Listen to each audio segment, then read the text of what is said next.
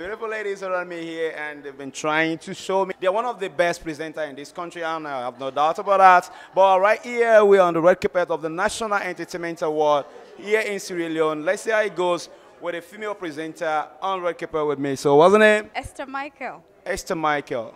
I know about John Michael, and I'm Osh Michael. So maybe she's. Sia Hannah. Michael.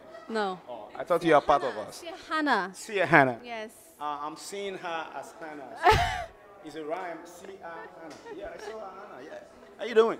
I'm fine, thank you. How are you? I like the beard. Oh, thank Can I touch it? Oh yeah, you Can I touch it? Yeah. Oh my god. I grew that out. How long did it take to grow that? It took me years. Bloody hell. Oh, thank you very much. You're wearing African attire, made in Salone. No. Oh, It's made in Dubai.